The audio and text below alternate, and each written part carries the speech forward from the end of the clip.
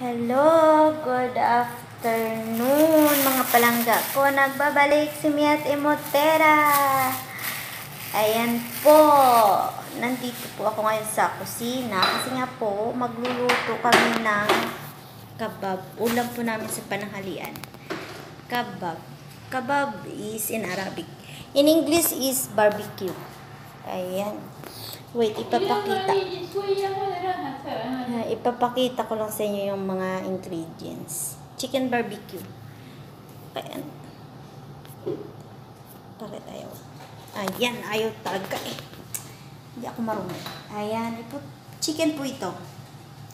Chicken, at saka maglalagay po ako ng black pepper na powder.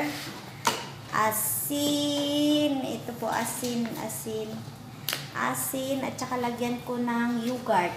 Yogurt po. At saka labna. Pang paano po kasi ito eh, para sa diet.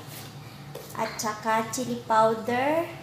At saka ito po, para sa barbecue. Ayan, ayan po mga ingredients. At saka mamaya, i-marinate ko lang po siya mga oras na ba ngayon? half an hour lang. Or one hour. One hour. At saka dito namin ilalagay. Kasi 'di ba sa Pilipinas is bamboo stick. Dito po sa ano sa Middle East is ito po, metal. Ayan. Wait. Mag-ano na po. I-mix ko na po sila. Ko na. Ay! Naano ako sa... Ilalagay ko yung... Ay, may kulang pa po pala. Atin, aki. Diba? Ayan. Ito pa po. Ano siya? Ah... bawang. Kunting bawang. Sibuyas bombay. At saka luya nilagyan ng konting ano, nilagyan ng konting suka. Ayan.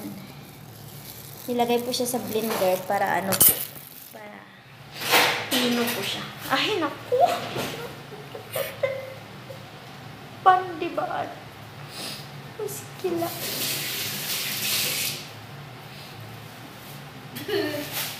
Ano, telepon mo skila. Ayan, i-mix ko na, ha? Tipenhay estrigidig. Ada kamu magsabi sa nahadala ada? Ada? Two years. Two years? Eh. Ya, ako ah, lang yun din yan? Eh.